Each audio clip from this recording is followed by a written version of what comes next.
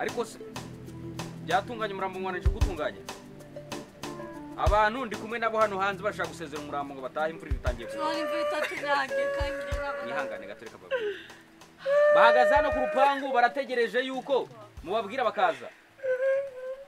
Sawa umva rero mbabwire umurambo wamaze kuba tayari bamaze kuwambika ubu ngubu banageze mu isanduku si imvura njyewe na ariko nyine se imvura iruta umuhungu wacu wapfuye? Njyewe ntabwo ndi kubyiyumvisha asa undi yazize iki? Ntabwo turamenya natwe ikintu yazize. Abarimo hariya nibo babizi. Yari arimo ideni kwa karisa oya rahira dore rero reka twumve samu igitekerezo cyiwe nka samu nk'umuntu babanaga. Samu tubanza utubwire yari arimo amafaranga angahe? Urakoze cyane. Mm.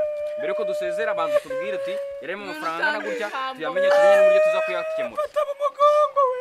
Mufate mu mugongo shaka yari arimo amafaranga angahe? Ukuntu bimeze. Eh ubu ndabwira ibibazo yateje. Aha. Urebe n'uburyo twabikemura nk'umuryango usigaye. Nanjye yaneye atendeye umukobwa ngeze ntabwo yarambwiye ko azaporopoza ikibazo. Ariko mwe mwihanganye. Ikibazo si uko yamuteye inda. Uyu mukobwa yabyaye umwana utuzuye.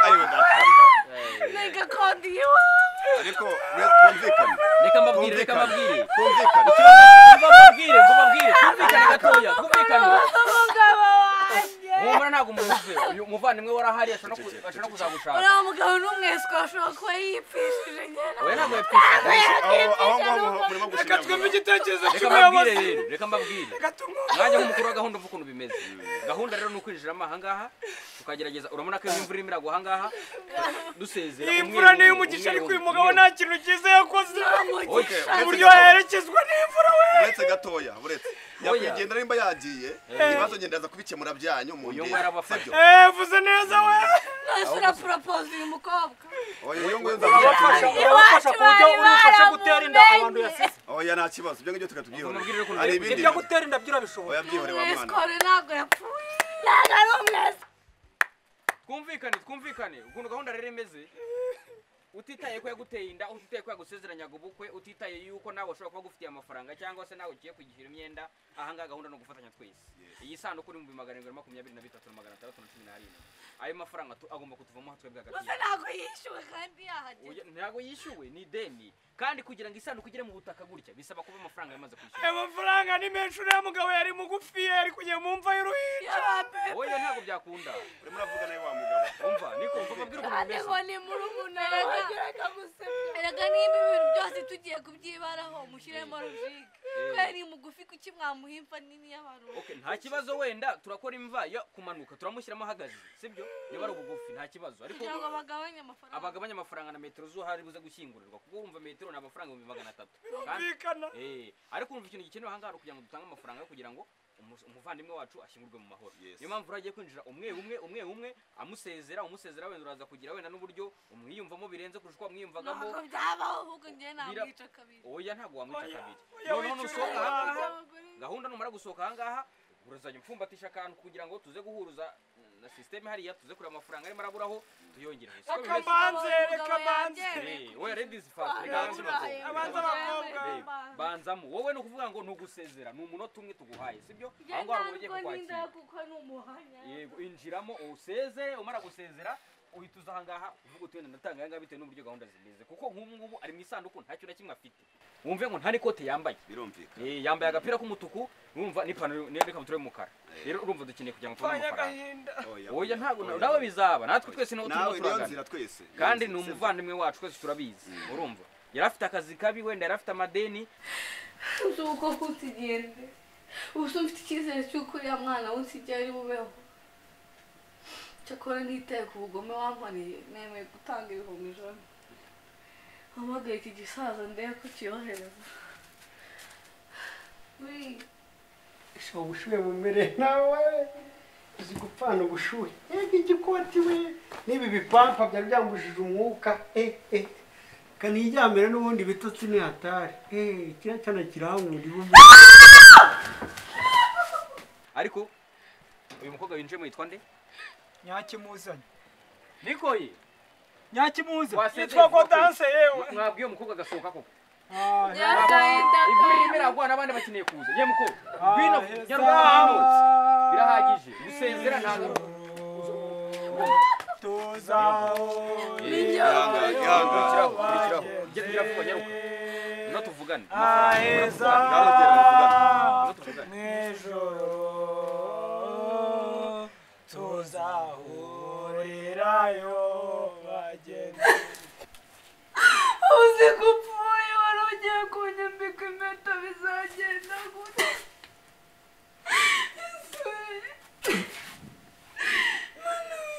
Umuhungu bose nanze ku bwawe. Ubu ngenda atanditse cyakora upfuye nagukundaga ndaza kugurisha uriya murima. Nubwo ndi kukurimbisha na n'ubu kariya karagurisha umurima. Kankunda kawe umurima? Ahubwo ndapfa bwa kabiri waraye umurima. Umunyagwari yaranyemereye kungurira perike none agiye cyari iyo kobwa icyo kibazo ndagikemura reba mu Icyo ijambo ndashaka. ribika imitima yanyu ntatuyizi bite wowe kutaza nyaruka ngwino hano. ikintu kimbabaje injira. Ni iminota ibiri wowe umuhungu ariko upfuye neza perike wanyemereye utayimbaye Ura- urapfura ki umusenzi mukajanzi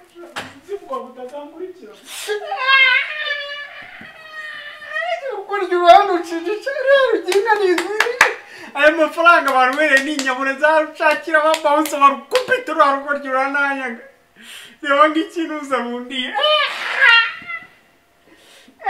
ntabwo napfuye ashakiza inzangwiga wanjye igeraho utakuretse buretse ikintu kimbabaje ahubwo se bite byawe imizimu itazankurikirana ntabwo watanga amafaranga umva uza iriya zahabu yambaye yimukure mwigurishe byishyure oya ntabwo byakunda umusore y'imuhambano wowe muze tuvugane mwebwe muze tuvugane mwebwe yapfuye Ukuntu yabaye kuri bimbabaje njyewe shabo abantu bapfuye barashyuha pe ushyuye bumereye nabi kandi ikipira mbe ngishyize hano amafaranga yo yakotejwe nanagura n'undi ariko mana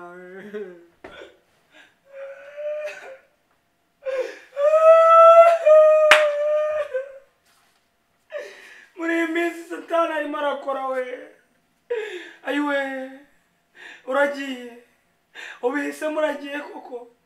Urasize. Nta kibazo ariko. Nta kibazo. Reka twubahe ibyo ijambo ry'imana rivuga. Ayiwe amatwi we yagiraga amatwi mabi gusa. Mbega amatwi nk'ay'ikidende we. Ayiwe aya masusi ameze nka rihamusha n'ukuntu kagira umutima mubi. Ariko ngo nawe uvuga nabi umupfu igituza gusa gusa. Yesu wewe ubukene noneho upfanye turabugira gute? Nta bintu byinshi naguha. Ariko uyu mupira nawe iby'inyamirambo kandi turi kicukiro. Uziyaranje namwe muwugurishe nta kindi kintu mfite naguha muvandimwe. Dore ngo uyu mupira we! Nari mwambaye rimwe. Umugabo nawe ibyo ni umusilamu. Ujye umenya uko muzawugurisha n'umurokore nibura kuko nimuwugurisha n'umusilamu. Bazabica nk'ingurube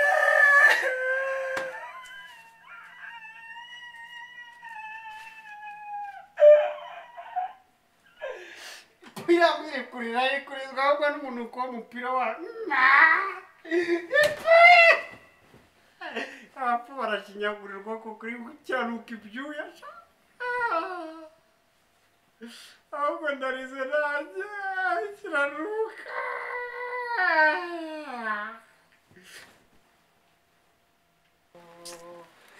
bigenze bite se kandi witanze umupira arakwase ni umujura ntabwo ukuntu bigenze. Yari yambaye isengeri. Ni ukuri ni ubwa mbere mbo eh, agapira k'umutuku.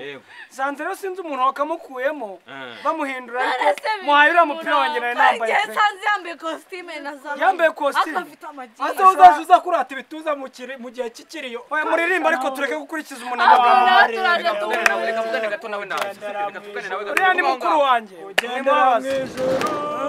Kugera mu gahinda amakuba yaje twirindira imana ese mwese muri pagani mwamenye kuja muri amasura. Nta n'indirimbo zo kukiriyo muzi ariko twabimenya gute se twe tuzi. Wakwitonza ukareka kugira umuntu ucyurira ko.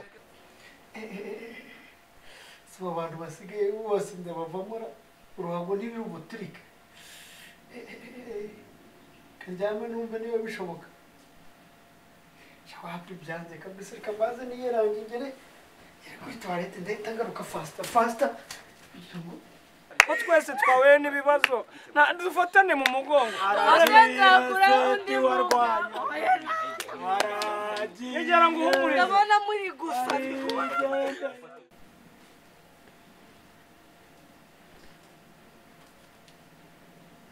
Sinibeshyera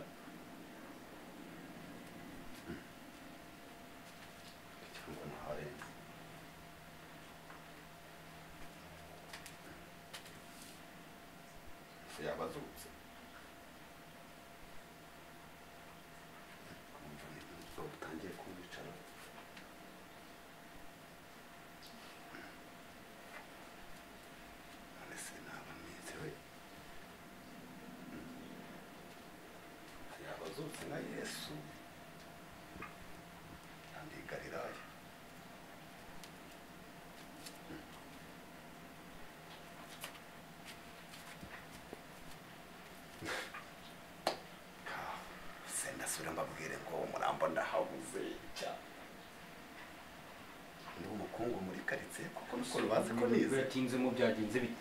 Niko ko watinze ubu ntabwo urabanje gusezera ngo usohoke koko? Bose biteze ni sawa nayobye umurambo uri he umurambo umusore rwose nta Se ntabwo wamusezeye mu masaha ageze aha ngaha ntabwo urasezera umurambo koko? Uzi ko ari wo muntu utegerejwe hariya kugira ngo ibintu birangire? Ese ko nagize ngaha nkaho umuranca kuba nayobye wenda umurambo si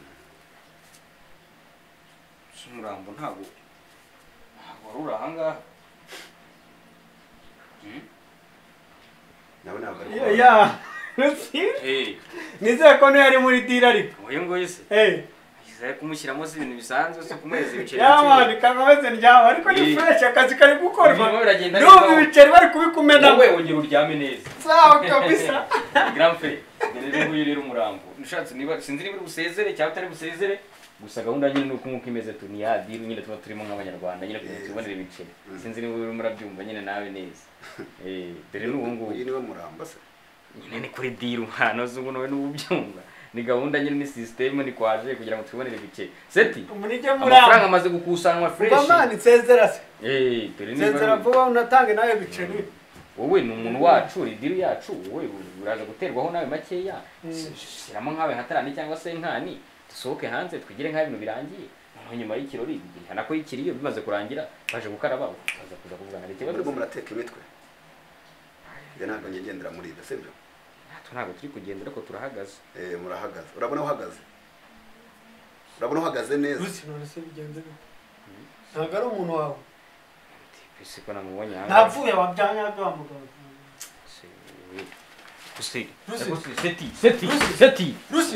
nose kujyanye mani ufite uzi uno mutipe he siko mujyanye we he se mujyanye he uri kuza kurata ibintu by'amafaranga wambara urambaretse igihugu wandetse ariko ariko se wimurare mu bikigo wimurare mu bikigo wimurare mu bikigo umuntu yapfuye arimo arashinyagura ashinyagurira umuntu ariko Baba, niba baba, muri gusaka, niko muri gusaka. iki urashaka iki wowe arazutse cyangwa asuka Uretse icyo asuka uretse. asuka yigo ariko ntabwo ari abesikoro turi abesikoro ariko ntabwo umuzima. ntabwo yewe fata umujenga tumujane Oya, fata umujenga tumujane tumujane tumujane hamagara um- abashinzwe umutekano oya natwe turagushinzwe nanjye ndagushinzwe ni umurambo Oya, nanjye ndagushinzwe. niba wambesha koko zanze bavugana ngo reka turire ngo reka Utihoraho ntabwo Imana. twibikere ariko se mana oya fata tugende gwera fata tugende nanjye ndikizenya nawe abantu baje kunshyingura bagiye se ninde ubajyanye sha abantu bose basigaye bikura bishyira kamamagare rusine. Rusine rusine twapanze diro none bagiye kumushyingura niyo bari gukingura amafaranga yanjye ikintu afite kiriya kigo? Alo rusi kiri no kumpamagara ahubwo we. Uzi ko napfuye kuko bya nyabyo. Siko nshobora kuba napfuye we. Alo rusi rusi bakinguye amafaranga bayatanze amafaranga y'isanduku ari he? Eh? Ngo ugiye kuba iyawe barakwica bya nyabyo ibyo ntabwo ndimo da ubyimenyere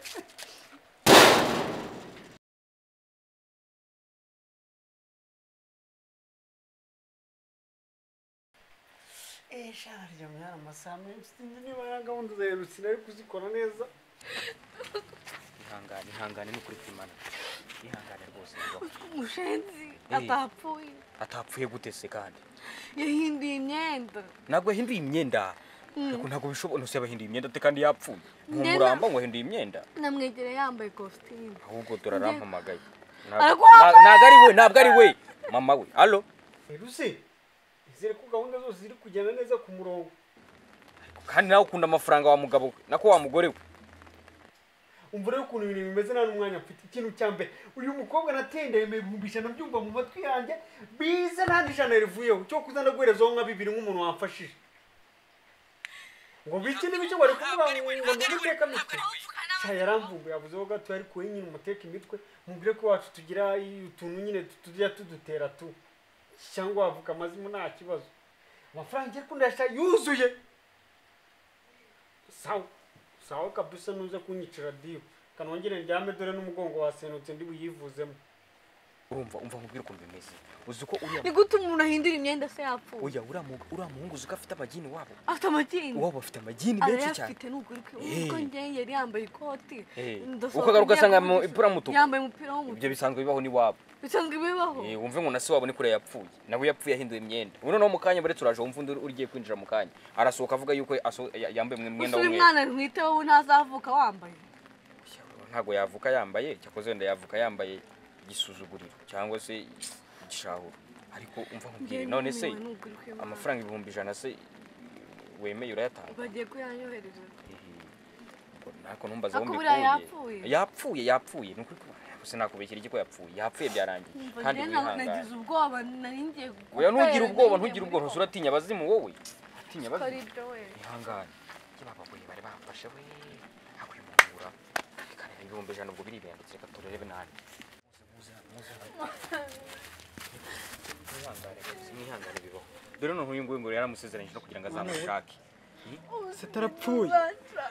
bibaho rega ni ibintu bisanzwe. Kandi ihangane ihangane no kuri kose. Kwihangana ahubwo se mbere y'uko wenda gushaka nta mafaranga y'inkwano ye yatanze. Eh? twari twarabivuganye muri inkwano ye yarayitanze se basi kugira ngo mwongere muyigarure ahangaha turebe ko twayifashisha muri iki kiriyo. Kuko birababa yifashisha Eh, niba ari nk'inka yatanze wenda mwaduha ba- niyo mutaduha inka mukaduha ku tanga. Amase buriya dushobora kuyatanga. Ibintu byose arabijanye byose arabijanye nawe ngo tugire icyo dutanga. Imana yatanze iwacu iwacu barayiriye cokoze icyo namuha uretse ivi kurishinga hasi nkavuga ngo mana nanje uzanjana amahoro ndakindi cyari ku nta n'amafaranga ibihumbi bitanu mufite kuko abantu babiri noneho koko uzi ko uyu mukobwa ubwo yagatanze ibihumbi ijana uyu mureke kurira aka kanya ntabwo ari akanya ko kurira mushake amafaranga amafaranga arahari ntahari yangane basi undi wa kabiri uzapfa naje Oya, nzatanga oya. magana atatu oya mwebwe muganire hagati yanyu muhaganire muganire hagati yanyu mushake amafaranga makeya amafaranga make niba bya bihumbi mirongo ine cyangwa mirongo itanu muyashaka rwose dawunilodinga apurikasiyo zacu tv nonaha maze ubashe kwirebera filime nziza na katuni zibereye abantu zacu tv